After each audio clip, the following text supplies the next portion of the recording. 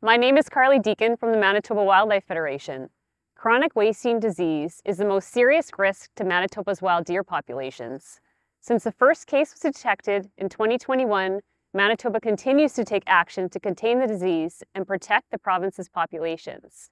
Hunters are required to submit biological samples of mule deer, white-tailed deer, and elk harvested in mandatory surveillance zones.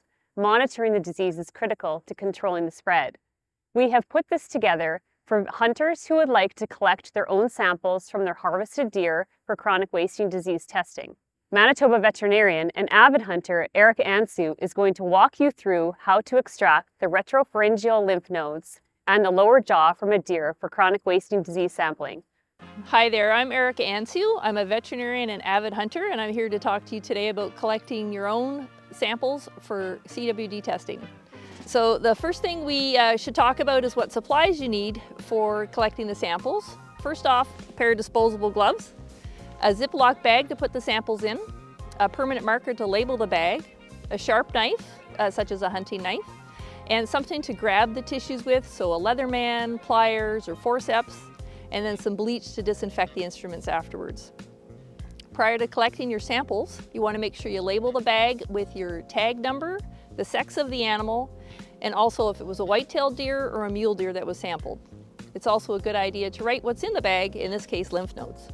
It's also a good idea to have a hard shell container, for example a coffee cup, to put the samples in to protect them when you're submitting them.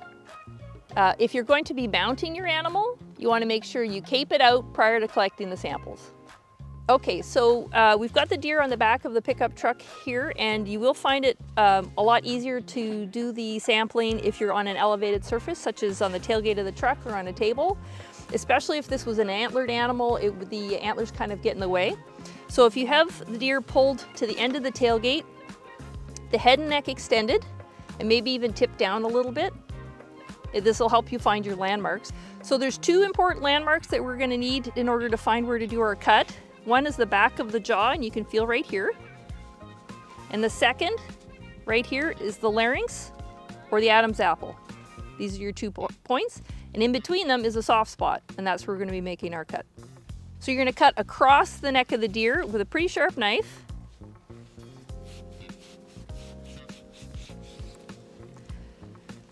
Here's the, the larynx again. It's sometimes handy to pull on that as you cut down.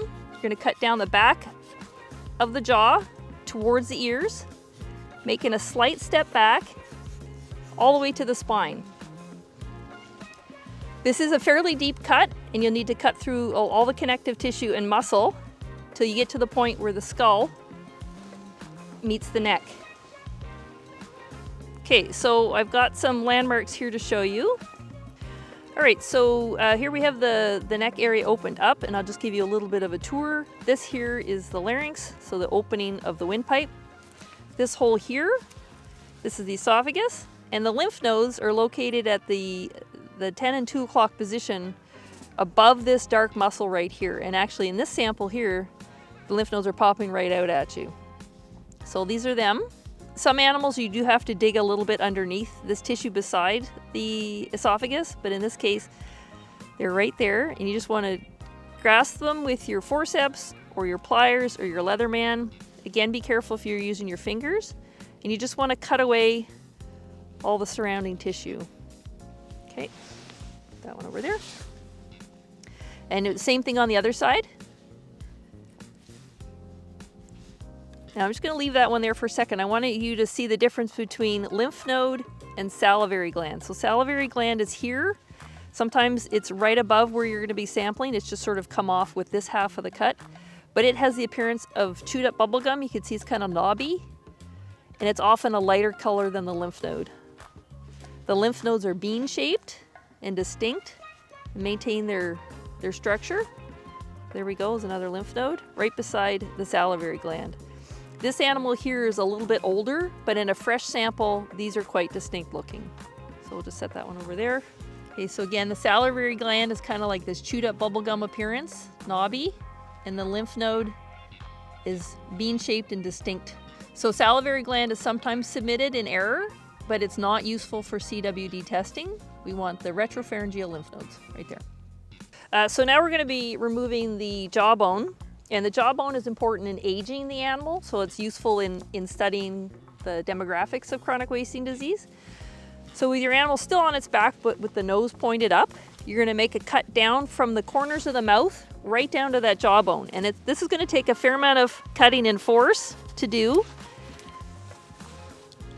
So cutting straight back,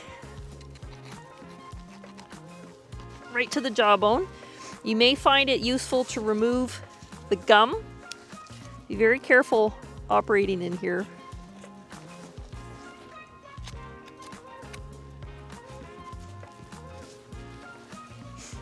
And you're gonna cut all the cheek muscle up towards the ear and the eye.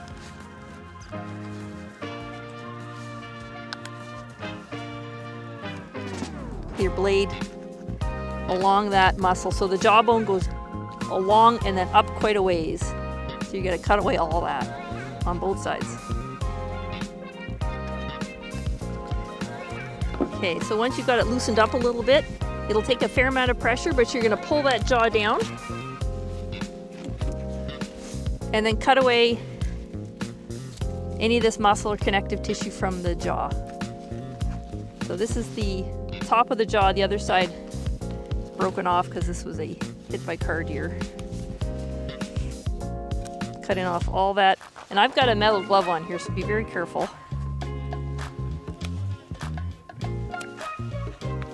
Peel away all that tissue.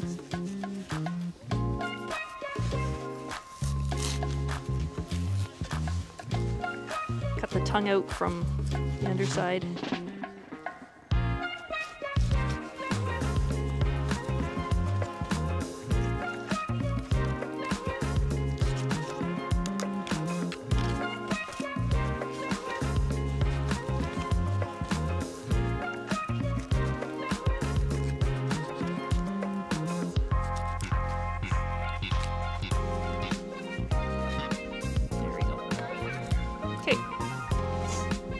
So the jawbone goes in the poly bag at the depot with your lymph nodes. And the lymph nodes we mentioned earlier, if you put them in something like a coffee cup to protect them. Okay, so uh, we have the jaw and the lymph nodes there. You want to put your lymph nodes into your pre-labeled Ziploc baggie.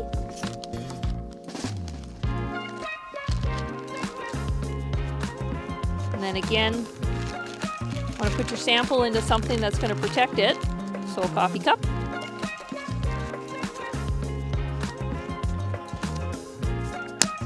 And then you're going to submit your jaw and your coffee cup. Take that down to your local depot. There you go. That wasn't too bad, eh? Hope everybody has a great hunting season. Thanks for watching. Reminder to all hunters that the Manitoba government has distributed new hunting game tags for use in the fall 2024 hunting season. The new green game tag now includes an optional biological sample section to help further enhance chronic wasting disease CWD monitoring in Manitoba. Simply fill out sample license number and species on the front of the tag, and the kill location and date of kill on the back. Coordinates can be easily found through a mapping app on your phone or online.